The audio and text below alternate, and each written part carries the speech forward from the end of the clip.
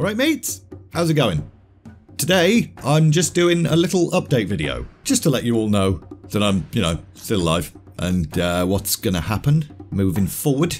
So I'm just gonna use a bunch of captured B-roll footage, and there might be a few frame rate drops, because I don't know what I'm doing when it comes to OBS, so sorry about that. Also, the reason I'm doing this as a video is because pinned comments and text posts don't always get seen by everyone. Um, plus, I'm not on Twitter anymore, which I will talk about in a minute.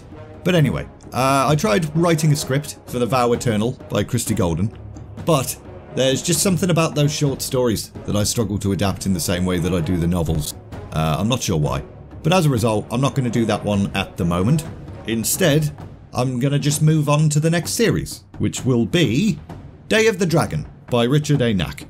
Uh, a person called Arseface pointed out in the comments of the last video that Day of the Dragon was the obvious next choice, and they're absolutely right it does make the most sense to do that one next.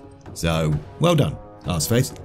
Uh, it pretty much follows directly on from Beyond the Dark Portal, but at the same time it's different characters, which is probably a good thing, because we've spent quite a while following Khadgar, Alleria and Turalyon around at this point, so let's follow Rhonin and Vereesa around instead.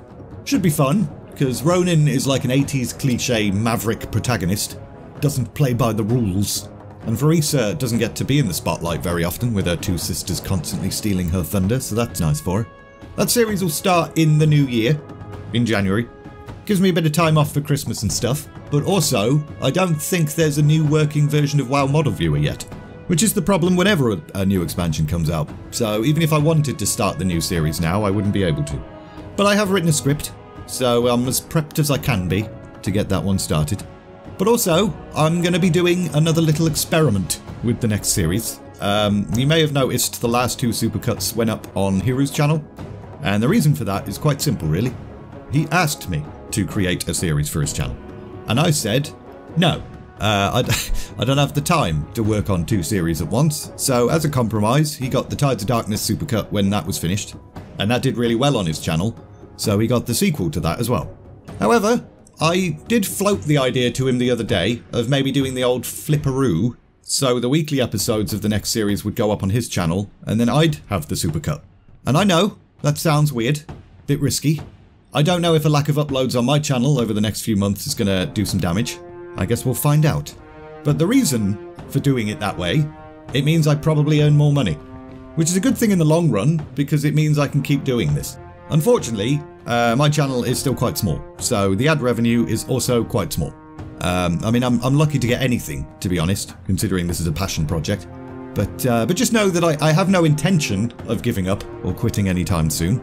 I still very much enjoy making these videos.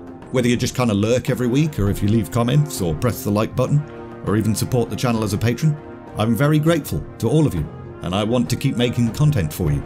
To be honest, I was expecting Hiru to say no to the idea, uh, because not all of his fans want my shit. They sub to Hiru for the top 10s and the history ofs and stuff, which I'm very aware of, and I don't want to make it seem like I've taken over his channel, but Hiru seemed pretty happy with the idea, so we're going to try that out. And hopefully, his other WoW editors can still bash out frequent traditional Hiru videos, so he doesn't start losing his subscribers en masse. but this will probably be a one-off, like I said, just a little experiment, it's not the beginning of me phasing into Hiru's channel or anything. I still very much want to have my own thing, because, you know, I've spent quite a while already trying to build it. This may well be a terrible decision, but I guess that's the nature of taking a, a bit of a gamble. Or something. Lastly, some folks may have noticed I deactivated my Twitter account. Uh, I did that pretty unceremoniously a while back. I feel like when you announce that you're leaving Twitter, it comes across a bit like, look at me, uh, whereas I honestly just needed to come off that platform. I really don't like social media. I have no desire of being an influencer. Uh, I really don't like the idea of an influencer in the first place. I think people are smart enough to think for themselves.